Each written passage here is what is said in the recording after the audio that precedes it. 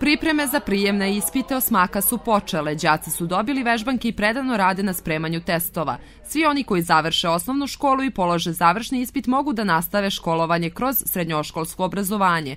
U osnovnoj školi Boško Palkovljević Pinki ove godine na završni ispit će izaći ukupno 97 osmaka. Ove godine se organizuje kao i prethodne godine prvo probni završni ispit, e, to je planirano za 13. i 14. april, a zatim 18. 19. i 20. juna će biti taj glavni, znači odnosno završni ispit.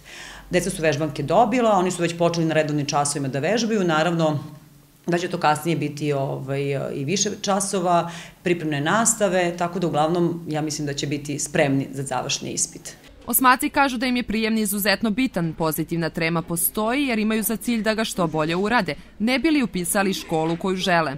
Važan mi je prijemni za srednju školu zato što želim da imam što bolji prosek i verovatno ću upisati gimnaziju zato što posle toga mogu bilo koji fakultet. Nemam neku tremu, počeo sam pomalo da se pripremam. Polako sam krenula da se pripremam, imam izbirke od prošle i pretprošle godine.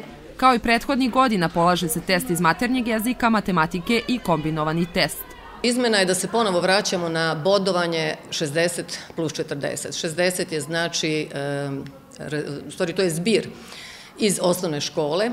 To su šesti, sedmi i osmi razred, znači uspeh šestog, sedmog i osmog razreda i tu je moguće dobiti 60 bodova, a 40 bodova će biti moguće dobiti na ova tri testa. Test iz maternjeg jezika i matematike nosi po 13 bodova, odnosno ukupno 26, dok iz kombinovanog đaci mogu osvojiti maksimum 14 bodova. Maturanti koji ukupno osvara uspeh ispod 50 bodova neće moći da pohađaju četvorogodišnje škole.